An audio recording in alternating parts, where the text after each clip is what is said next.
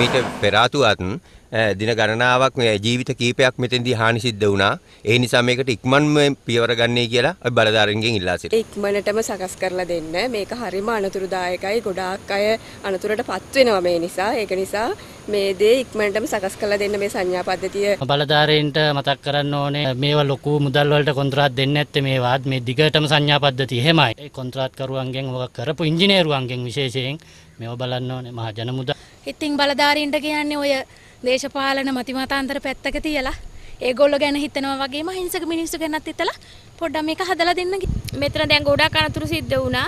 දන්නේම නැතුව දෙපැත්ත බලන්නේ නැතුව දානවා. දාලා මේ ළඟදිත් අපේ හිතවත් අයියා කෙනෙක් නැති වුණා. ඉතින් මෙතන නම් ගොඩාක්ම අනතුරුදායකයි මෙතනට ගේට්ටුවක් අවශ්‍යමයි කියලා මං කිව්වා.